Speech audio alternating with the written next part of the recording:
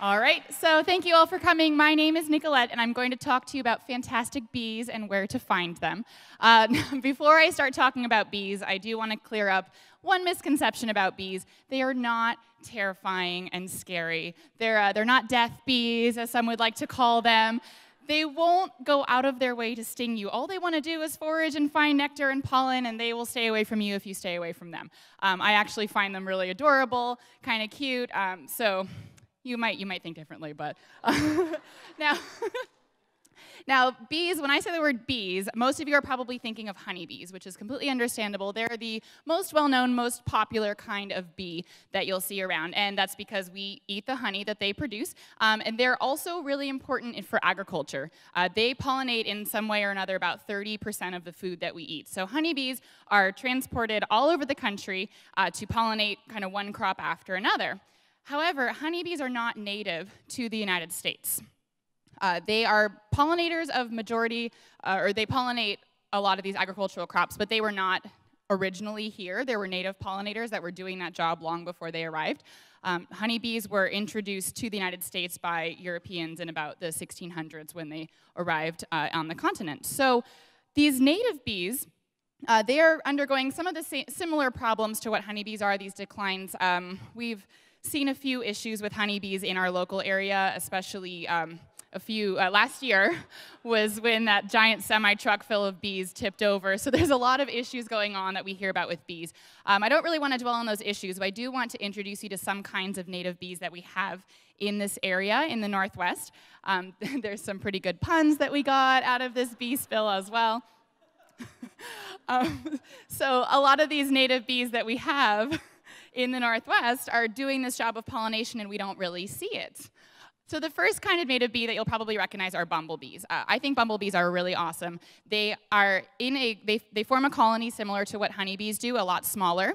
Uh, the difference is though that bumblebees will send off queens at the end of the summer to go eat and forage on nectar, and those queens actually hibernate over the winter. They go into something called diapause, where their, their body metabolism slows down, and then they come out again in the spring, lay a bunch of eggs, and establish new colonies. Um, bumblebees are also really awesome because they perform a special service called buzz pollination.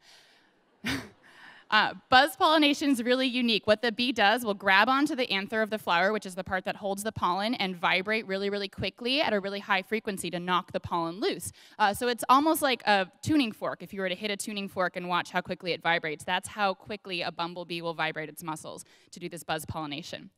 Um, another kind of native bee that we have in the area that's really important to us, um, particularly in Washington for our economy, are uh, mason bees, and that's because apples are very important in Washington. Um, I love apples, I love eating them, I'm sure a lot of you do too, and for our economy, especially over uh, around Wenatchee area, that's a hugely important crop.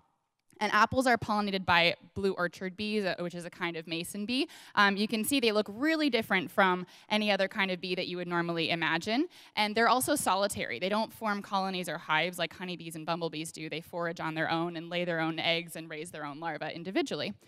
Um, another kind of native bee, this large family, are the Halictidae, or the sweat bees. Um, and this is an example of a sweat bee, this green metallic bee, really pretty, another solitary bee. And the sweat bee family gets their name because they actually are attracted to the taste of human sweat. So if they land on you, they will treat you kind of like a salt lick. Um, they're so small that you can't feel it. It's not like a giant bumblebee or honeybee landing on you. They're very, very tiny. Um, and so it's, a, it's not really intimidating, but it's kind of fun. They like to come and lick uh, on your skin. So a lot of the questions that come to me when I'm talking about bees with people are what can we do to help bees? Because we all see how there are all these problems that bees are dealing with. And so if you're a gardener, then you're probably already doing a lot to help bees just by planting flowers, providing nectar and pollen. Um, the number one rule I'd say is uh, to plant a variety of colors. So different bees have different preferences of flowers. If you were eating the same food every day, you'd get really bored of it. Same with bees. So planting a variety of colored flowers ensures that you have a variety of food sources for them. Also think about the flower shape. You have really, really tiny solitary bees. You have pretty big bumblebees. Certain bee sizes can't fit into really tiny tubular flowers. So also having a variety of flower shapes is a really helpful trick. Uh, so if you're interested in helping out bees and want to know more information, I would recommend the Xerces Society. They have a ton of resources. Um, you're also free to contact me, and you can come see me in the intermission as well if you have any more questions. Thank you so much, and enjoy the rest of your evening.